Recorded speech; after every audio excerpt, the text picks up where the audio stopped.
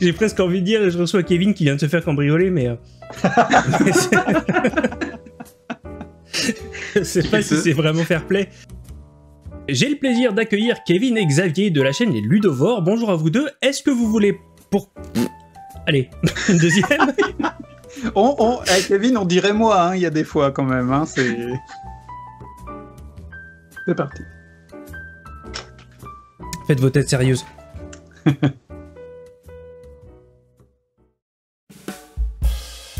Aujourd'hui, je vous propose de nous pencher sur une question d'actualité, une question redondante depuis plusieurs mois maintenant, la question du prix des jeux en financement participatif. On voit de plus en plus, de manière de plus en plus marquée, notre communauté s'insurger non seulement des prix qui explosent, mais aussi de l'idée que, chemin faisant, certains gros éditeurs en ont peut-être profité pour gonfler un peu la note et engranger des bénéfices. De fait, on back moins, de nombreuses campagnes récentes ont soit complètement raté leur objectif, soit obtenu un résultat en dessous des attentes, et par moments, on a envie de remettre en question notre système de socio-financement. Car pour une part croissante de backers, la tentation est forte désormais de se focaliser sur des pledges et des campagnes dits raisonnables, moins chères, qu'incarnerait la mesure et le respect des joueurs dans une économie hors de tout contrôle. Problème, tout le monde n'est pas prêt pour autant à rogner sur le contenu ou sur la qualité, c'est de ce paradoxe dont on va discuter aujourd'hui. Afin de m'assister, mais surtout de me contredire dans cette chronique, j'ai le plaisir d'accueillir Kevin et Xavier de la chaîne Les Ludovores. Bonjour à vous deux, est-ce que vous voulez commencer par présenter peut-être votre chaîne en deux mots à ceux qui ne la connaissent pas? D'accord, bah, ça commence bien si on se file la parole l'un l'autre. Ok, bah voilà, donc euh, Kevin, et puis moi c'est Xavier, euh, deux Français euh, au Japon, et on a eu un beau jour une idée un peu folle, à savoir de faire nous aussi notre, chaîne YouTube sur laquelle bah, on propose diverses choses, des expli parties, quelques reviews, et comme on est au Japon, on essaye de temps en temps de présenter des projets purement japonais, si c'est possible avant qu'ils soient édités en France, quand on sait qu'ils seront édités en France, de manière à faire parler un peu plus du jeu lui-même, quand on le trouve intéressant bien entendu. Et vous avez comme spécialité, je me permets d'ajouter des, vidéos particulièrement exhaustives, euh, les fameux menus, où, euh, où, là on parle in extenso de, tout ce qui peut se trouver en ce moment sur Kickstarter ou en tout cas sur le, financement euh, participatif. Ouais, c'est la vidéo de, de, la semaine en gros. c'est vrai que c'est une vidéo qui prend pas mal de temps à réaliser, à monter, etc. Mais qui, c'est vrai, c'est certainement celle qui nous a fait le plus connaître jusqu'à présent. Donc ouais. Mm. Il y, a un vrai public pour ce, genre de, de review très extensive où justement on découvre des choses qu'on ne connaît pas forcément. Et justement, on va parler de tout ça, on va parler de ces petits projets, de ces moyens projets, de, encore une fois, du prix des jeux, c'est ce que j'ai annoncé en, introduction. Je commence avec un phénomène qui m'amuse, que je voyais déjà avant les crises, mais qui me semble peut-être devenu un peu plus prépondérant aujourd'hui, et sur lequel j'aimerais bien donc vos lumières. Il s'agit de l'attachement, presque de l'affection un petit peu chauvine, un petit peu française, euh, qui a une part non négligeable de la communauté pour les petits auteurs et encore plus si possible s'ils en bavent.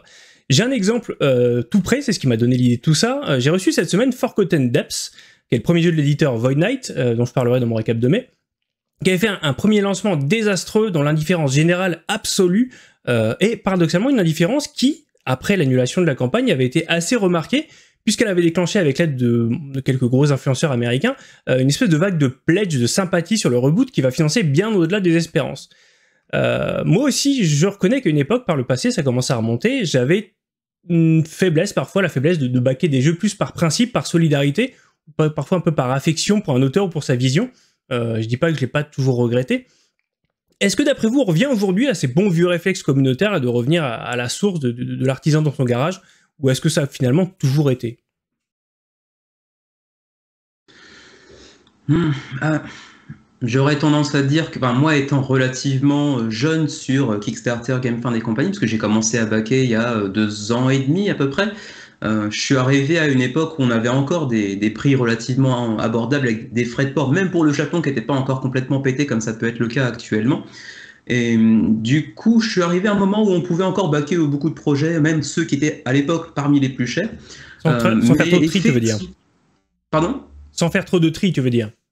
Voilà, effectivement. D'autant plus qu'en plus, euh, bah, comme tu le sais, j'imagine, au début, on a souvent cette, euh, frénésie euh, des premiers mois sur Kickstarter où on, a, à peu près tout ce qu'on voit, quoi, en gros. on exagère un petit peu, évidemment. et effectivement, depuis, allez, disons, en gros, 6, 9, 12 mois, c'est un petit peu, la fourchette, la fourchette est un petit peu large.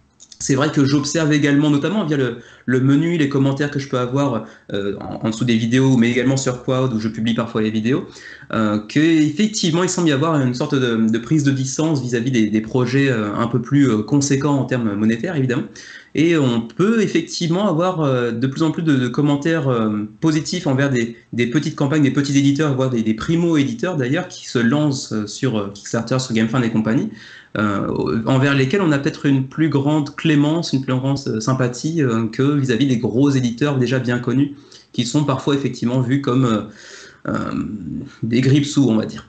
Oui, c'est ça, c'est peut-être parce qu'ils sont. Xavier, qu'est-ce que tu en penses? Est-ce que c'est parce qu'ils sont pas chers et qu'on estime que le gros éditeur s'enrichit sur le dos du, du peuple ou comment bah, tu vois les choses, toi?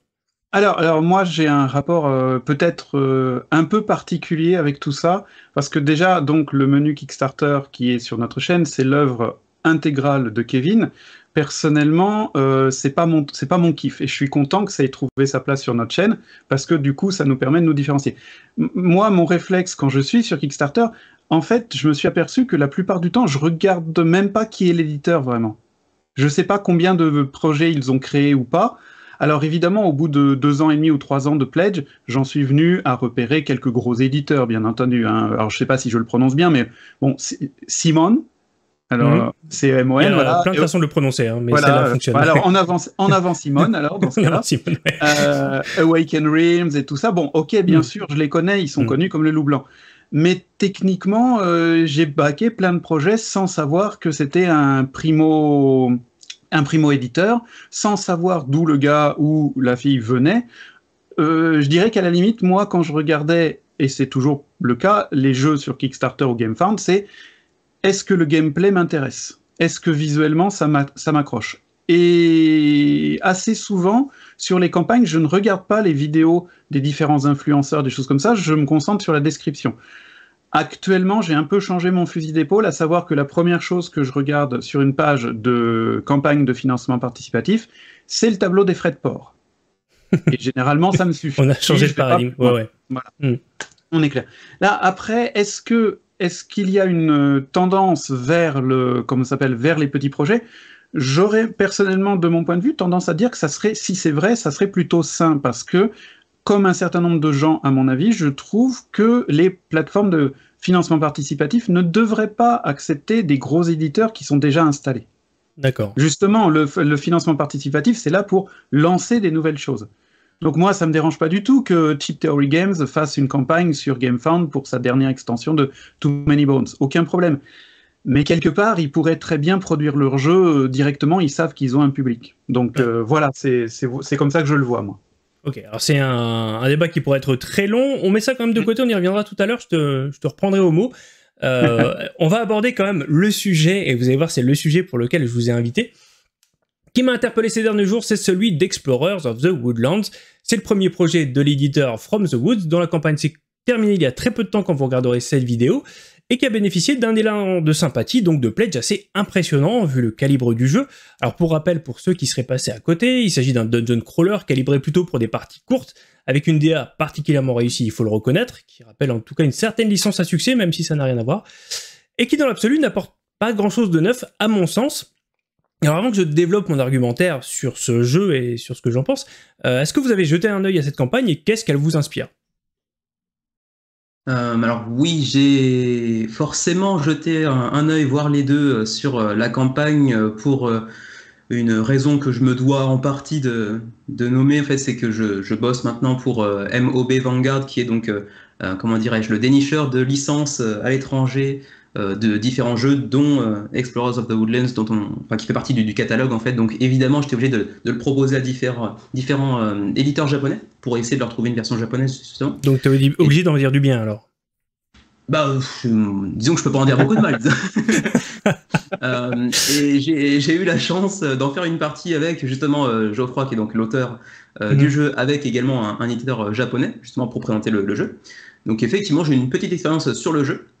Et bah, mon a priori était plutôt positif avant même de commencer la partie pour les raisons que tu as pu évoquer, à savoir l'ADA qui est vraiment très jolie, effectivement. C'est vraiment, comment dirais-je c'est très coloré, c'est très vif, ça, ça attire l'œil. Et puis effectivement, il y a ce petit côté, euh, comment dirais-je, on va dire euh, racine pour éviter d'avoir à, rappeler le nom euh, original du jeu C'est pas interdit, hein, mais je pense que tout le monde a, cru reconnaître parce que c'est même pas le même auteur. C'est ça qui est marrant. Non, pas du tout, effectivement, mais bon, l'inspiration est très claire. Hein. je pense que personne mm. n'a vu, enfin, ça n'a pas fait illusion, disons. Et, du coup, pour revenir à ta question, est-ce que tu pourrais me rappeler? Parce que je suis juste, qu'est-ce que tu en as pensé? Alors, c'est faussé, du coup, puisque tu fais partie des, des gens qui essayent de le faire acheter à tout le monde, mais. Alors oui, effectivement. Euh, bah non, j'ai pas spécialement cherché à le faire acheter, sauf à, à des éditeurs japonais, mais après, c'est juste une personne que je dois convaincre. D'ailleurs, euh, il n'y a pas de version japonaise pour l'instant parce que le yen est actuellement en train de dégringoler, mais c'est une autre histoire. Euh, et pour ce qui est de, mon avis euh, sur le jeu en tant que tel, et justement en se basant sur la seule partie que j'ai pu en faire, c'est une partie durant laquelle j'ai pu prendre pas mal de, plaisir, mais en fait, toujours en ayant à l'esprit que c'est un jeu auquel j'aimerais bien jouer avec mon neveu, en fait, qui a à l'heure actuelle 7 ans. ouais, 7 ans. Hmm. Et, du coup, effectivement, c'est un jeu très très familial en fait, qui est assez, euh, disons, pour des, joueurs un petit peu plus euh, aguerris, euh, comme on peut l'être, même si ça peut sembler un petit peu prétentieux de notre côté avec Xavier. c'est pas un jeu qui nous trouverait son chemin sur la table assez fréquemment en comparaison à d'autres, par exemple. Euh, donc effectivement, c'est pas un jeu que moi j'irais baquer très honnêtement, parce que c'est, je suis pas le public en fait tout simplement, mais je peux comprendre qu'il trouve euh, grâce aux, yeux de beaucoup de gens, même si je me pose la question justement euh, de comment dirais-je, est-ce que, est-ce que ces gens finalement vont y jouer véritablement? Est-ce que c'est eux-mêmes d'ailleurs le public? Exactement. Parce que je pense qu'effectivement, il y a une, quantité de gens qui vont le baquer parce que c'est beau, parce que c'est français, parce que c'est un primo-éditeur, parce que la DIA est à tomber, c'est vrai. Euh, mais est-ce qu'ils vont y jouer vraiment? Enfin, Je doute qu'il y ait autant de, gens euh, qui, jouent avec leurs enfants. Enfin, si c'est le cas, tant mieux pour eux. Et, enfin, Il y en a, ouais, mais...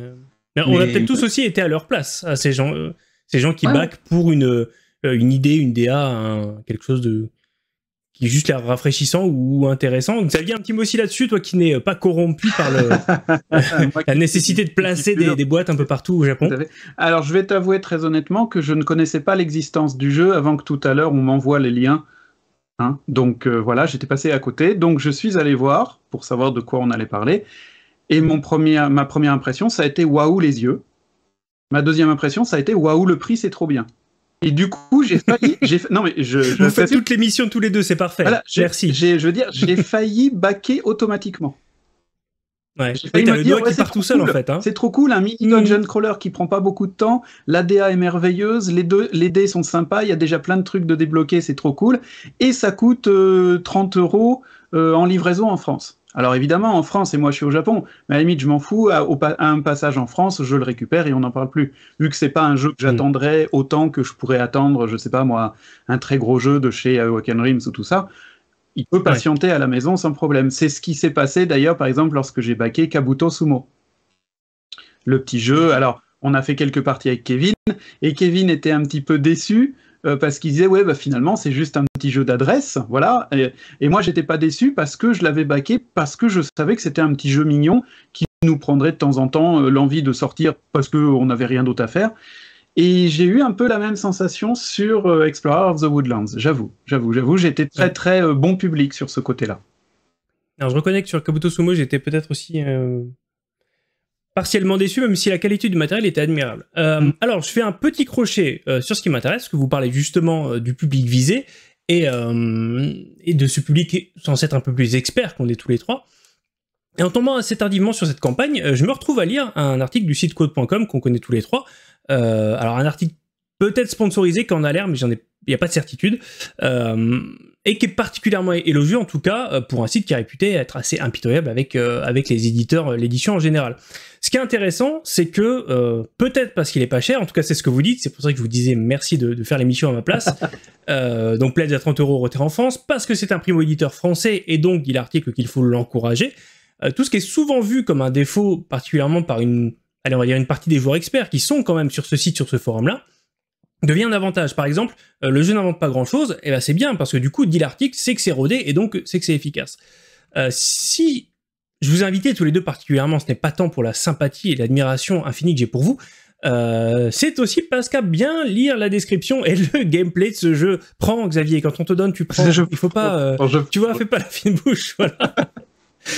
Euh, à bien lire la description de ce jeu, on a quand même l'air très très très très proche d'une espèce de Dice Throne Adventures, très light, mais quand même Dice Throne Adventures, que ce soit dans les dés euh, qui conditionnent les actions, dans l'exploration avec les tuiles qu'on retourne, etc. Il y a quasiment tout dedans.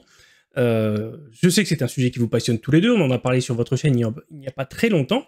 Sauf que justement, ce Dice Throne Adventures, par le même auteur sur le même site il y a quelques mois auparavant, il avait a priori aucun intérêt, il était banal à crever. Du fait, pour vous, où est la différence, à part peut-être un chauvinisme, j'imagine, mais où est la différence euh, entre ces deux jeux, au-delà du prix et du fait qu'il y en a un qui n'est pas localisé et distribué par Lucky Duck? Pour une fois, je vais laisser commencer Xavier, tiens. Chacal.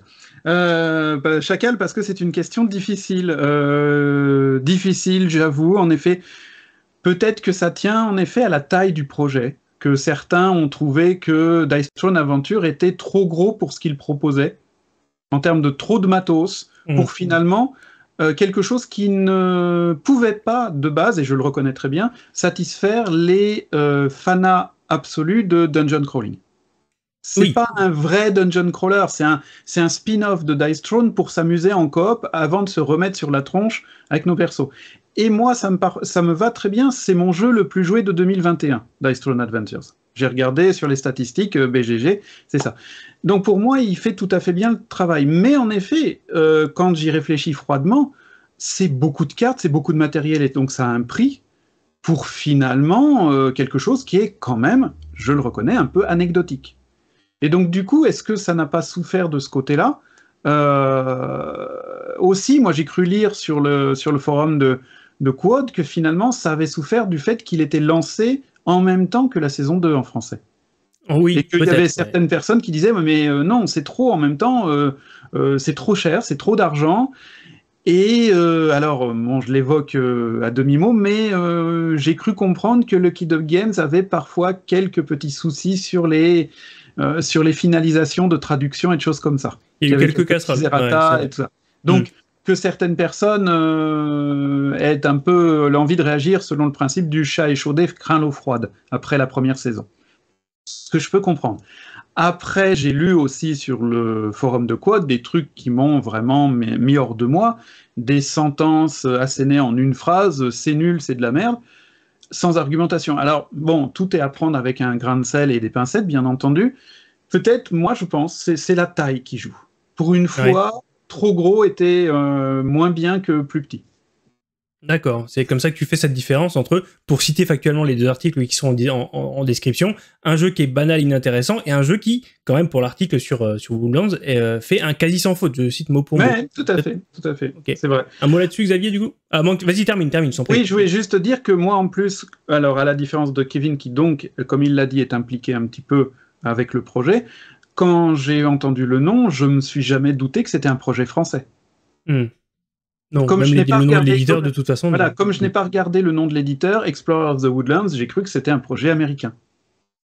Donc, euh, donc voilà.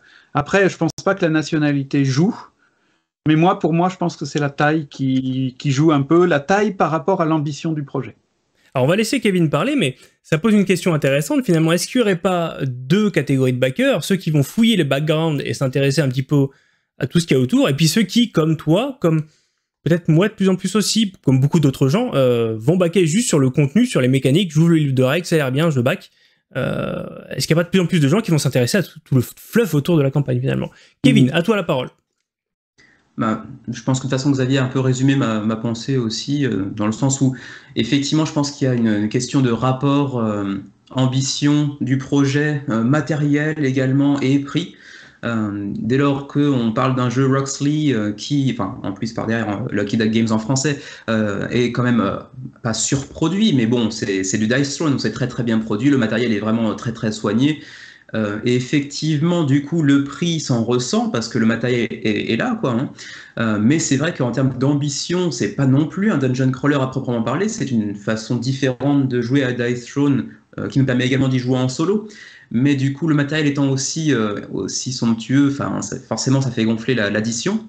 Et, du coup, pour un jeu qui n'a pas vraiment de prétention en tant que dungeon crawler, dans ce, dans ce registre dans lequel il essaie de s'insérer, mais euh, en, ayant un petit peu le, séant entre deux chaises, si je puis dire, euh, bah, du coup, effectivement, ça peut hum, mécontenter certaines personnes qui se disent bah, l'offre en termes de mécanisme est pas si folle que ça, et ça coûte 100 euh, balles, quoi alors que mmh, Explorers mmh. of the Woodlands propose quelque chose de relativement similaire, mais de plus ramassé, de plus contenu en termes de matériel, et largement aussi en termes de prix, puisqu'on est à peu près euh, au tiers quasiment.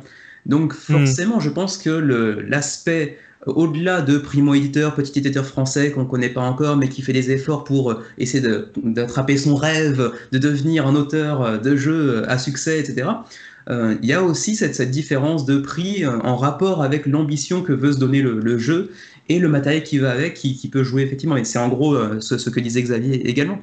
Euh, après, pour rebondir sur ce que la, dernière question que tu as ajoutée par la fin, euh, bah, je pense qu'effectivement, ne serait-ce qu'avec avec Xavier et moi-même, qui sommes pourtant donc très proches, on partage même une chaîne YouTube, bah, effectivement, je pense qu'on a deux, comment dire, deux façons de, faire différents.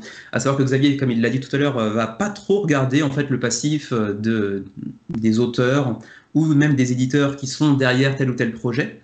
Alors que moi, j'aurais tendance à le faire, mais c'est peut-être une forme de des formations euh, semi-professionnelles pour euh, le menu hmm. crowdfunding, justement, parce que moi, je suis un petit peu obligé de regarder euh, ce qu'ils ont fait au préalable, parce que c'est des informations qui peuvent être potentiellement intéressantes pour les spectateurs du menu. mais aussi parce que, ben, tout simplement, je pense que j'aime bien ça. C'est pas quelque chose qui vient définir mes choix en termes de contribution à tel ou tel projet. parce que sinon j'en backerais beaucoup plus. Euh, mais simplement, euh, j'aime bien euh, les données, les statistiques, voir le passif de tel ou tel truc, ça, ça m'éclate pas mal. Donc effectivement, je regarde ce qu'ils ont fait, qui est derrière, quel est l'auteur, quel est l'éditeur, est-ce qu'ils ont fait autre chose ensemble précédemment, etc.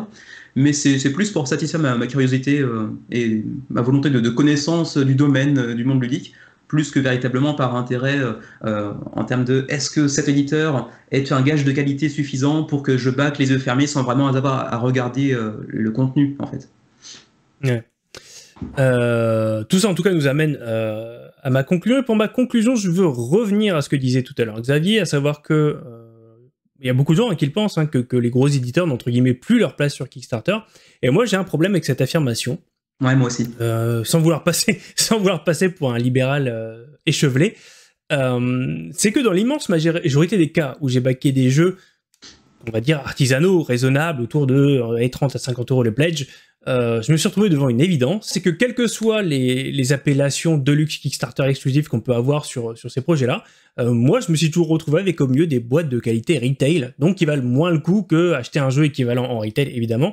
Je pense, allez, je vais citer deux trois exemples pour euh, un petit peu étayer mon propos. Je pense à Reload chez Colossal, all-in à 50 euros avec des plateaux joueurs en cardstock, un cerf qui ne contient pas la moitié du jeu, et puis des boîtes d'addons en carton mou.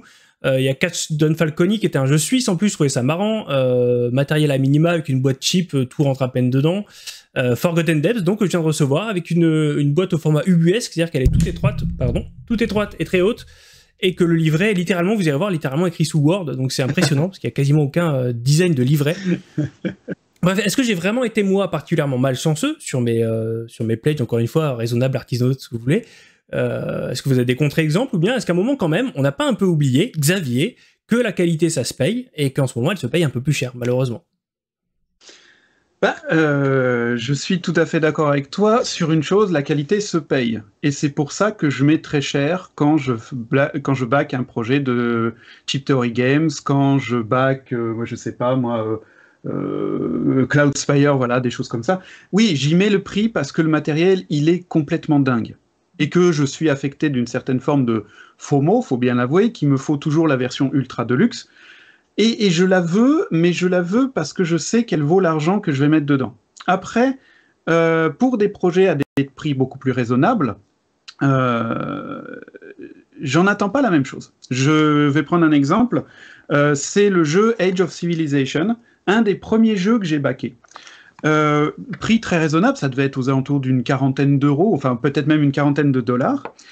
Ah, c'était leur premier projet. Voilà, juste pour. Euh, c'est ça, c'est ça. Euh, depuis d'ailleurs, j'ai pledgé euh, sur Age of Galaxy, qui, sont du même auteur. Donc, Age of Civilization m'a plu. Mais je suis le premier à reconnaître que Age of Civilization, Le matériel, soyons honnêtes, est, est assez dégueulasse. Hein. Soyons honnêtes, les, les cartes de civilisation, c'est du design à minima.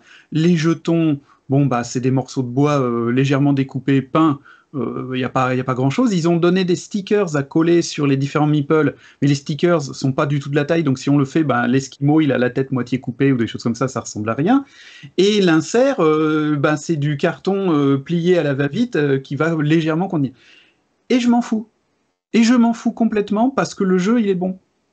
Autre exemple, Stardew Valley, que j'ai réussi à me procurer euh, en faisant des pieds et des mains, puisqu'il n'est pour l'instant quasiment distribué aux États-Unis. Eh ben, je... ça parlera pas à grand monde parce qu'il est très difficile à obtenir. Voilà, c'est ça, tout à fait. Mais enfin, si ça parle pas à grand monde, allez sur notre chaîne, on a une vidéo dessus. je pense que c'est pas ça que je veux dire. Je pense que beaucoup de monde en a entendu parler grâce à votre vidéo que je recommande à tout le monde d'aller voir, mais peu de gens ont mis la main dessus, en tout cas dans les, j'imagine les francophones qui nous regardent. Mais, du coup, euh, quand je l'ai reçu, j'étais extrêmement content de l'avoir. Quand j'ai joué, j'étais extrêmement content d'y jouer. Et je suis quand même le premier à reconnaître que franchement, l'édition n'est pas parfaite. Euh, Kevin, tu te souviens, je t'avais montré le plateau central. Eh bien, là où il y a la, pliure pour refermer, elle est beaucoup plus large que d'habitude, donc un jour, elle va me rester dans les doigts. Pour certaines cartes, les cartes sont légèrement bombées, comme ça, elles sont plates, et puis le bord est bombé vers l'intérieur, comme ça. Et j'ai vraiment eu l'impression d'un truc, euh, j'irai pas jusqu'à dire fait dans un garage à la main, mais euh, quand même largement de moins bonne qualité. Là, ça m'a un tout petit peu plus gêné parce que le prix était nettement plus élevé, sans parler des frais de port, hein, ça c'est autre chose. Euh, mais autrement, les, rares jeux que j'ai baqués à des prix euh, peu élevés, bah, pour l'instant, moi, je touche du bois. J'ai plutôt été content en tenant compte du fait que le matériel n'était pas forcément ultra folichon. Mais le jeu lui-même était bon, donc tant pis. Pas... Hmm. Kevin, et puis après j'ai une question pour rebondir sur ce que tu dis Xavier. Ah, moi je me rends compte que sur Kickstarter, je m'oriente plus naturellement vers des jeux que, il y a un biais aussi que j'expliquerai après, euh, que j'ai très peu de chances de trouver en commerce parce que nous on habite au Japon et que dans le commerce il n'y a pas grand chose. On est quand même dans un pays où le monde ludique est quand même relativement moins développé tout du moins, euh, qu'il ne peut l'être euh, en Europe en fait, ou aux États-Unis par exemple, Night Donc du coup, on a plus de mal nous à mettre la main sur, euh, sur ces jeux-là, si tu veux. même s'il y a une VF qui sortira par le Games ou autre éditeur francophone, ben, nous, on on, va pas, le trouver en fait, simplement. Et en plus de ça, nous, on a ce, biais qui, qui, fait que on est dans un pays étranger, ce qui fait qu'on a aussi tendance à prendre le jeu en version originale pour pouvoir trouver des partenaires de jeu plus facilement aussi. Donc ça, c'est encore un, biais supplémentaire. Donc finalement, moi, sur Kickstarter et GameFund, je back généralement des jeux qui ont un matériel déjà un peu clacos, tu vois, euh, qui, qui, présentent bien, disons. J'ai backé assez peu de projets euh, vraiment, vraiment abordables, euh, ce qui, quand j'ai l'impression, en même temps que, que, je le dis, me fait passer pour un gros bourge. Mais... Avec ton armoire vide et, tes cartons par terre. Voilà, et cambriolage. Mais oui, où j'en venir déjà euh, Oui, euh, du coup, j'achète plutôt des jeux qui sont généralement euh, plutôt avec un matériel assez conséquent, même s'il peut m'arriver de baquer des jeux un petit peu plus assez anecdotiques en termes de matériel, comme j'ai pu le faire à quelques reprises. Et c'est un exemple que je pense qu'on pourra donner assez facilement, et je pense qu'on sera tous d'accord là-dessus.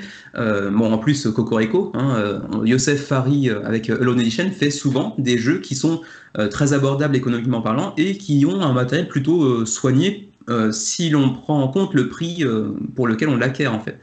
Est-ce que c'est pas l'exception plus que la règle? Juste de ce point de vue-là, est-ce que c'est pas plus l'exception que la règle? Peut-être, mais encore une fois, effectivement, là, c'est, ça fait partie vraiment des très très rares jeux à bas coût que moi je back sur mmh, Kickstarter. Donc j'ai assez peu mmh. d'expérience euh, mais comme le disait Xavier, en fait, je pense que c'est aussi une question euh, d'attente, euh, de ce que l'on attend d'un jeu au moment où on le back, qu'il soit cher ou non. ça va affecter notre jugement, notre, notre impression du jeu avant même d'avoir à y jouer, effectivement. Donc, si tu achètes un jeu 25 dollars ou si tu l'achètes 125 dollars, tu vas pas avoir les mêmes attentes en termes de mécanismes de profondeur, etc., mais surtout en termes de matériel, parce que tu sais qu'à 25 dollars, tu peux pas non plus faire des, des, milliers des cents, justement, euh, avec le matériel, quoi, en fait, simplement. Donc, effectivement, j'en entends pas la même chose, et, euh, et quand j'achète des jeux en, retail, donc en, magasin, en boutique sur Internet, effectivement, j'ai plus tendance à aller m'orienter vers des jeux un petit peu plus euh, cheap, justement, parce que, ben, je sais pas, ça me dit que les gros jeux un petit peu chers, je les prends justement sur les plateformes de, de financement participatif, et les jeux un petit peu moins chers. Par exemple, récemment, j'ai pris Targi, que tu connais peut-être, un jeu de placement d'ouvriers pour deux joueurs. a un matériel vraiment pas c'est pas, pas fantastique visuellement, mais euh, il a une réputation d'être un, très très très bon joueur à, deux joueurs. Euh, et comme c'est notre, configuration généralement ici, euh, je l'ai pris les yeux fermés parce qu'il a une excellente réputation avec des mécanismes qu'on aime bien. Et bon, le matériel, bon, bah, je m'en fous un petit peu honnêtement. Mais effectivement, sur Kickstarter et compagnie, j'aurais des attentes différentes parce que le prix est plus conséquent aussi. Alors, pour finir là-dessus, en deux mots, du coup, je vous pose la question à tous les deux, vous avez évoqué tous les deux cet aspect-là. Euh, on revient finalement au nerf de la guerre, qui était ce fameux Explorers of the Woodlands. Euh, il y a, vu l'engouement, y compris sur des sites, donc on l'a vu, des, sites d'experts, euh, ces gens-là, à quoi ils pensent? On n'est pas sur des mécaniques de génie, comme je suis tout à fait d'accord avec toi, Age of Civilization, tu ouvres le livret, tu vois que c'est quand même malin et que tu as un jeu assez unique dans sa transportabilité pour ce qu'il propose. Bon voilà. Mais là, tu as un jeu des mécaniques qui sont plutôt vues et revues, c'est joli mais ok. Euh, pourquoi tu vas pas chercher en boutique? Je suis sûr qu'il y a au moins 10 équivalents de, de, tu vois, de, jeunes couleurs familiaux comme ça. Euh, qu'est-ce qui fait que celui-là fonctionne, d'après vous, même si ça fonctionne pas forcément sur nous Ou encore, toi, comme Xavier, qui avait le doigt qui tremblait de, sur sa souris, j'ai eu le cas aussi.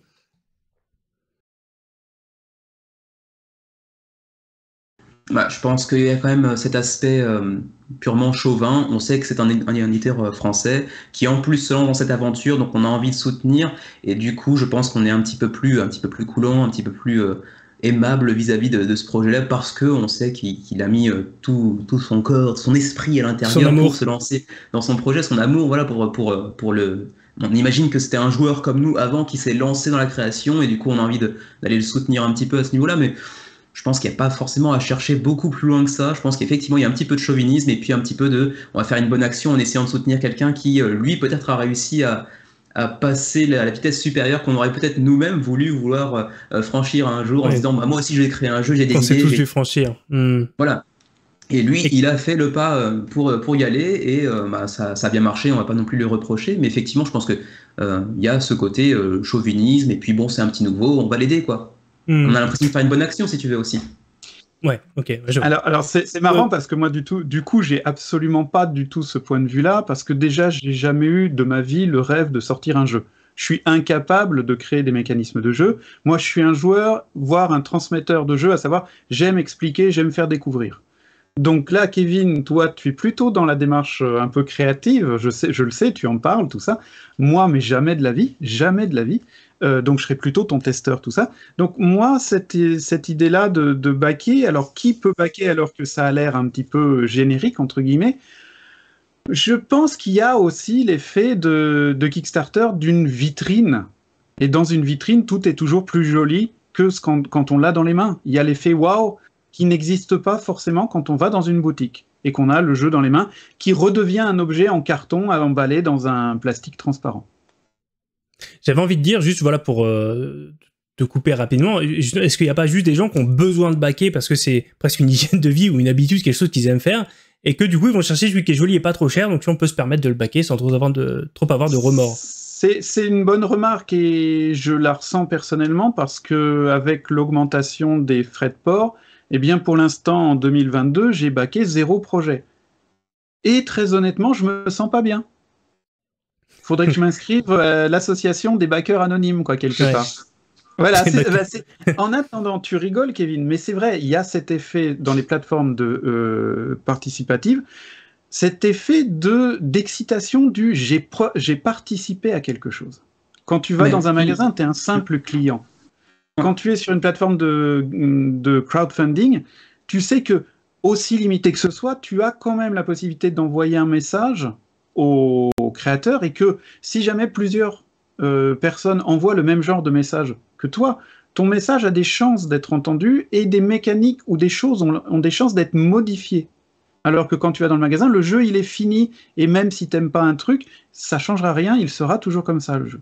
Je crois qu'il y a aussi cette idée-là qui, n'est pas forcément une idée, euh, je dirais, exprimée euh, clairement, mais qui est derrière la tête en me disant, moi, par exemple, pour revenir sur l'échec retentissant de la campagne de ECIA de Die Games, hein, qui a fait beaucoup parler d'elle pour plein de raisons, je ne m'étendrai pas dessus, mais euh, je sais qu'en tant que pledger de la première campagne, euh, j'ai un rapport un peu émotionnel avec ce jeu et mhm. la présence des auteurs sur les réseaux sociaux fait que ce lien il est tissé.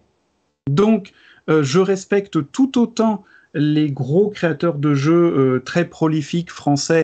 Bruno Catala, je le respecte parce qu'il a fait un travail énorme. Alors on peut ne pas aimer certains de ses jeux, il n'y a aucun problème. Mais ceux de Die Games, j'ai eu un contact direct par la plateforme de financement et par les réseaux sociaux. Donc il y a une autre approche du jeu pour moi. La plateforme de financement, pour moi, c'est pas seulement cliquer sur un bouton et mettre les détails de sa carte bleue, c'est aussi s'investir émotionnellement dans un projet qu'on va devoir en plus attendre. Et, on veut toujours ce qu'on ne peut pas avoir tout de suite, c'est voilà. aussi. Et mm. c'est pour beaucoup, c'est cette dimension que je pense que beaucoup ne comprennent pas et qui me chagrine un peu parce que je vois beaucoup de gens qui disent ouais euh, ça fait un an et demi que je l'attends, euh, bah j'ai plus envie de jouer, je pense que je vais le revendre sans l'ouvrir. Mais pourquoi t'as baqué alors? Moi, il n'y a aucun jeu, même Muséum qui est extrêmement en retard. J'ai toujours pas envie de le revendre non ouvert. Muséum, je vais l'ouvrir et je vais, je vais le jouer. Parce que je l'attends. Je, j'ai un rapport un peu conflictuel avec l'éditeur, c'est une autre question, mais le jeu, lui, je l'attends toujours. Donc il y a cette émotion qui est là, à mon avis. On pourrait, oui, faire toute une émission d'ailleurs sur la, notion de pile de la honte et de, qui sont les anti, même les, compulsifs anti, moi j'ai la peur de la pile de la honte, et puis ceux qui l'assument parfaitement et qui, entassent des boîtes parce qu'ils aiment ça. La, la, quoi? L'étagère d'opportunité? C'est pas mal, c'est très joli. Est-ce que, pour terminer... Moi j'ai pas de peur. je voudrais juste rebondir sur ce que... Vas-y alors, vas-y Kevin. Euh, ce qui effectivement, peut-être que j'y pense en même temps que, que je parle, mais euh, Xavier a évoqué ce côté attente euh, une fois que le projet euh, est, terminé sur, sur Kickstarter ou, ou ou quoi que ce soit. Il y a peut-être ce côté un petit peu gestation en fait. Hein. On a quand même cette, cette idée un peu d'un projet qui euh, est un peu justement enceinte et on va, euh, on va participer, enfin on, on, va pas rentrer dans les détails salaces bien évidemment, mais euh, tous ensemble à ce, projet pour qu'il puisse voir le jour par la suite, tu vois. Et je pense qu'effectivement il y a ce côté aussi communautaire qui est sur Kickstarter ou sur GameFund avec les commentaires, mais également bien évidemment Kickstarter, enfin pas Kickstarter mais Twitter, Facebook et compagnie sur lesquels les auteurs, les éditeurs sont souvent très présents, qui permet aussi d'entrer en contact avec eux, qui permet aussi justement d'avoir cette relation quasi affectionnelle avec certains des éditeurs. Et puis au-delà de ça, je pense qu'il faut quand même souligner, même si euh, ça peut être remis en question, c'est peut-être euh, juste une opinion euh, basée sur pas grand-chose, sur du vent, que sur Kickstarter, sur GameFund, etc., c'est quand même, en termes de, monde ludique en tout cas, un endroit où tu achètes avec les yeux, en fait, globalement tu, tu vas pas avoir le matériel sous, les yeux, enfin, à moins que tu aies un prototype, et encore, c'est un prototype, donc de fait, c'est pas la qualité finale, évidemment. Tu as le plaisir de la recherche, justement, d'aller voir qu'a fait l'auteur, qu'a fait l'éditeur, qu'est-ce que. Ouais. Que tu peux pas faire en magasin, quoi. Hum, hum. Effectivement, ils vont te montrer ça, enfin, ils, ils, vont faire appel parfois à euh, des experts pour présenter une page qui vraiment a de la gueule, euh, en montrant les aspects les plus, euh, les plus luxuriants, les plus classes de leur jeu, bien évidemment, et ils ont raison, enfin, c'est du marketing, bien évidemment. Mais je pense qu'effectivement, il y a tout ça, cette, dimension un petit peu parallèle euh, à la vente en magasin. Ça n'a rien à voir en fait. Quand tu vas dans un magasin, comme disait Xavier, tu es juste un, client, tu vas peut-être un peu piocher à droite à gauche, mais tu es envahi par euh, des jeux tout autour de toi. Alors que quand tu regardes un projet sur Kickstarter, tu as un projet sous les yeux et c'est tout. Et je pense qu'il y a une relation différente justement euh, dans l'approche que tu vas avoir vis-à-vis de, ces jeux, que tu vas voir beaucoup plus en détail avec une page qui va faire 3 km parfois, euh, où tu vas avoir beaucoup plus de détails que si tu regardais juste les boîtes en fait, sans avoir un aperçu de ce que peuvent être chacun des jeux qui la composent en fait.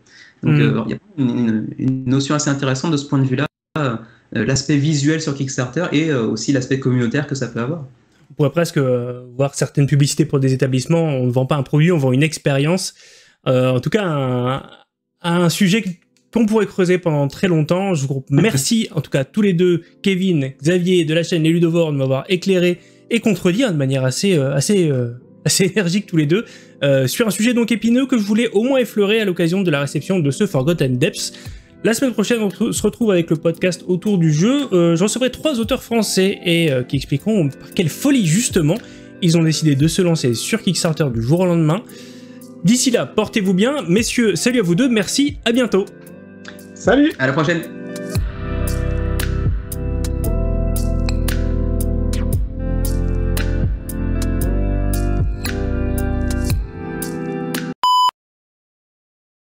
C'est la pire conclusion que j'ai jamais faite. Merci, à bientôt. Bonjour, bonne journée. Allô, allô? À plus dans le bus.